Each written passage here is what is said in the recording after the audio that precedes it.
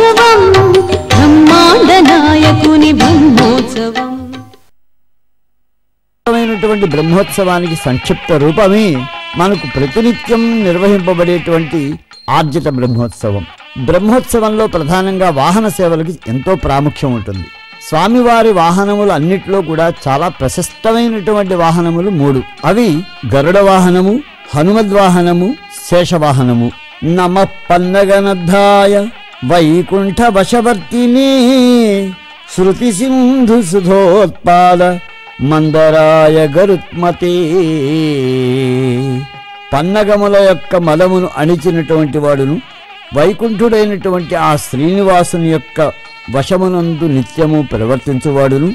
శృతియను సాగరమును మధించగా ఉత్పన్నమైనటువంటి ఆ అమృతాన్ని సంపాదించినటువంటి వాడును. మందర పర్వత సదృశమైనటువంటి శక్తిని కలిగినటువంటి గరుత్మంతుని యొక్క ఆ మూపుపై చక్కగా ఆ శ్రీనివాస స్వామి వారు అధిరోహించడం అనేటువంటి దాన్ని మనం వీక్షించదగినటువంటి ఒక అద్భుతమైనటువంటి సందర్భం అన్నమాట. ఆ పైన హనుమంతుల వారు గోష్పదీకృత వారాసిం మసకీకృత రాక్షసం రామాయణ మహామాలారత్నం వందే అనిలామావతార మూర్తి అయినటువంటి ఆ శ్రీ మహావిష్ణువుకు వాహనమైనట్టుగానే ఇక్కడ శ్రీనివాస స్వామి వారికి కూడా వాహనంగా అమరడం అనేటువంటిది మనం వీక్షించదగినటువంటిది.